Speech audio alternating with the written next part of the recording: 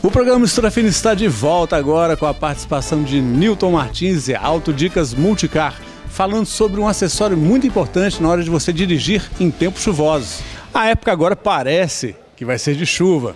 Felizmente, estávamos precisando, mas na hora de dirigir, alguns cuidados são importantes. Além da manutenção de palhetas de limpadores de para-brisa, que nós já falamos aqui no Auto Dicas Multicar, você vai saber sobre a importância de se manter sempre abastecido o reservatório de água.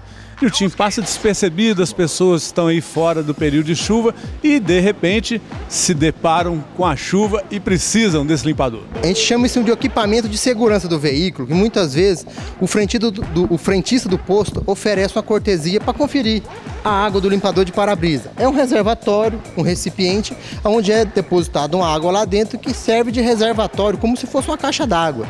Para quando você precisar, ele ser injetado no para-brisa. Para tirar barro, poeira, né?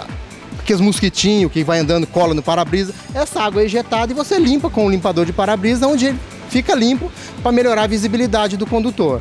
Agora, Nilton, é importante lembrar que esse é, equipamento de segurança não funciona corretamente se os bicos que jogam água no para-brisa não estiverem também funcionando corretamente, né? Pelo menos uma vez por mês, o condutor ou ele mesmo olhar, ou caso levar numa oficina e pedir para olhar se os bicos estão entupidos. É coisa simples.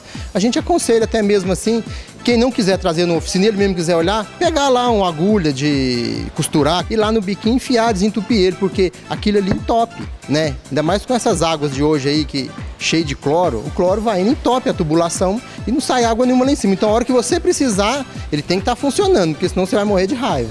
E muito importante também lembrar que não se pode colocar qualquer tipo de aditivo de limpeza dentro desse reservatório. Né?